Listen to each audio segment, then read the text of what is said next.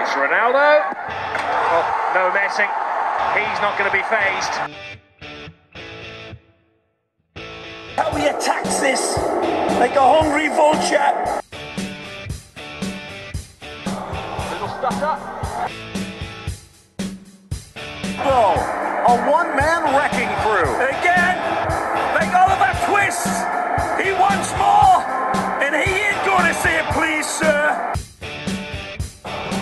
Little. Those mighty legs of Cristiano Ronaldo. But he has assumed the Cristiano free kick position into the wall.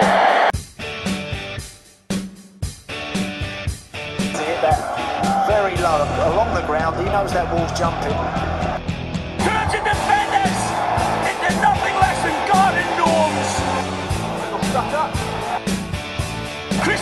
his best and showing him this much space is like